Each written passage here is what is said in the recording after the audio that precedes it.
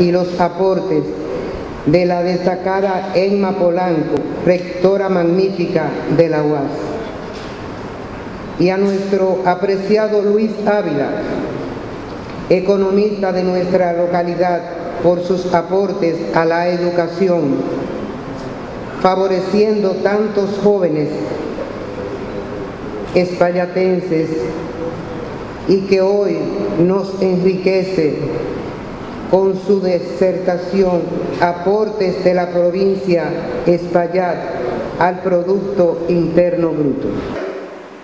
Equivalente a 1.355.000 tareas, de las cuales 883.000 se reportan, se reportan en producción agrícola. El 65% de la tierra en la provincia Espaillat está cultivada o está en producción.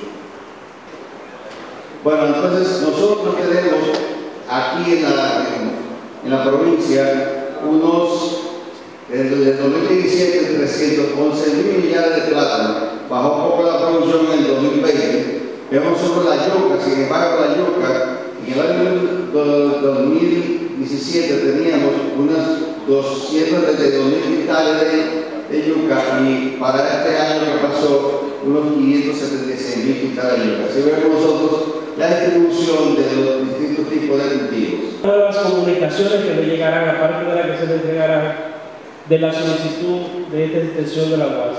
Y como joven, quiero decirle que si hubiese tenido la oportunidad de estudiar en la Universidad Autónoma de Santo Domingo, créanme que hubiese sido egresado de la misma. Por tanto, solicitando en nombre de todas las instituciones de la provincia de Espaillat que de una forma u otra han hecho suya este llamado de atención de UAS, escuchen nuestra solicitud, como así nosotros sabemos que lo ha sentido, porque creo, sin temor a equivocarme, que esta gestión que usted preside es la que ha tenido mayor énfasis en darnos esa respuesta y acompañarnos en este proceso. Así que la alcaldía del Ayuntamiento de Moca, mediante el suscrito alcalde del municipio de Moca, se compromete a especializar la asignación de un solar de considerable dimensión y valor de mercado para ser especializado como fondo semilla a favor del recinto que tenga a bien aprobar la Universidad Autónoma de Santo Domingo UAS en nuestro territorio.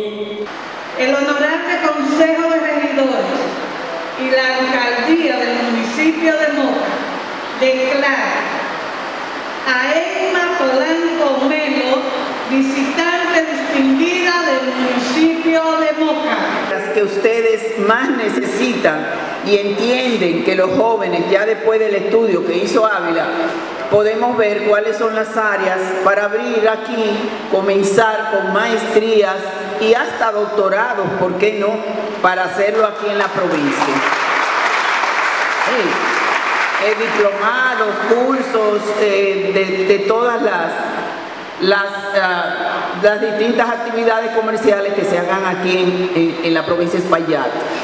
Por lo que creo que sí podemos tener un inicio.